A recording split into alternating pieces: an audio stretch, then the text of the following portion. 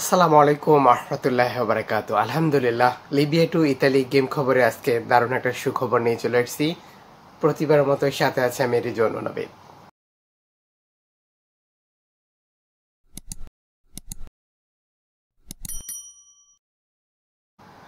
তিরিশে আগস্ট।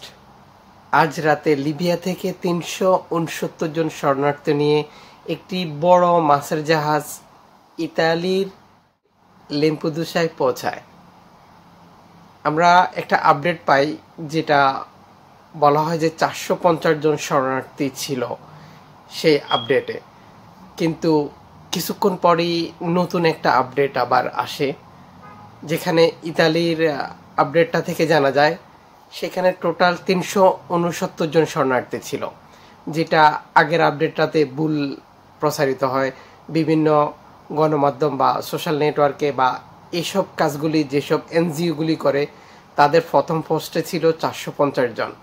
পরের পোস্টে সেটা আপডেট করে তারা তিনশো উনসত্তর জনের খবর নিশ্চিত করে।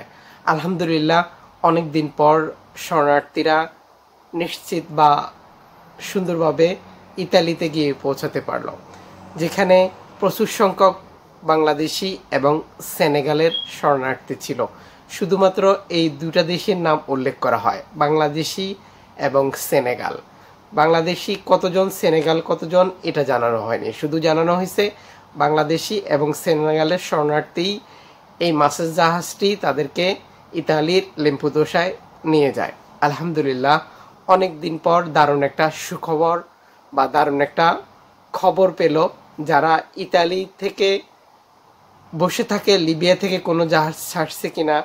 বা বাংলাদেশ মধ্যপ্রাচ্য বা এশিয়ার অনেক দেশ থেকে অপেক্ষায় থাকে, লিবিয়া থেকে ইতালিতে ভালোভাবে গিয়ে কোনো বোট পৌঁছাইছে কিনা, তাদের জন্য দারুণ সুখবর ছিল এটা।